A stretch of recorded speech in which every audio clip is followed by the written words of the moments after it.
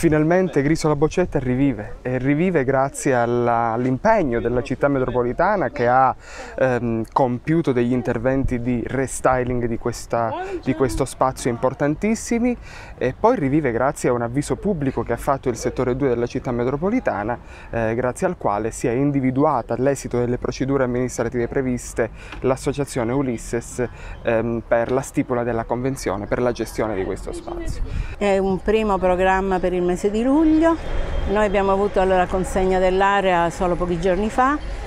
però c'era un lavoro preliminare di contatti con altre sette associazioni che sono partner, hanno firmato con noi un protocollo d'intesa eh, che fa parte proprio del progetto e quindi ci sentiamo abbastanza forti. Sono associazioni importanti come Scena Nuda, il Touring Club. Faremo una postazione informativa e divulgheremo tutto quello che ci daranno gli enti di materiale turistico. Sì, non è una, una, novità, la città metropolitana ha investito in maniera importante in questo per rendere fruibile nuovamente questo, questo sito molto importante non soltanto per il comune di Reggio Calabria ma